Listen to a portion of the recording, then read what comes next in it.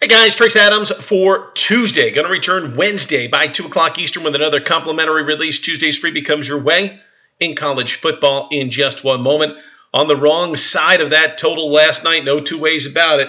1500 star winner last night was not a winner as Chicago and San Diego held under the posted total. But guys, still 18 of the last 28 days on the plus side, today we've got winning day number 19 of 29 coming your way.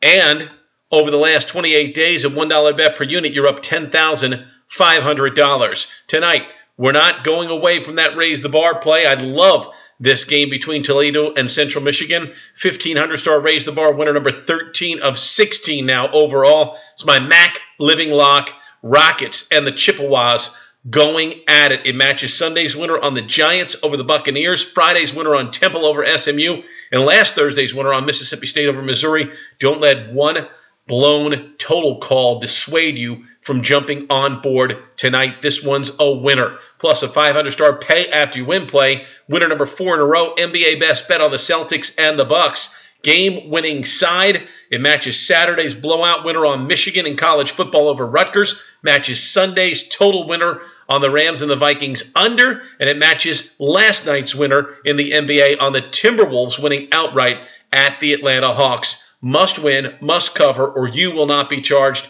That's the way the pay after win play works. There you have it. There it is for this Tuesday in MAC conference action with Toledo and Central Michigan leading the way. Your comp winner tonight is going to be Kent State plus the points at Ohio University.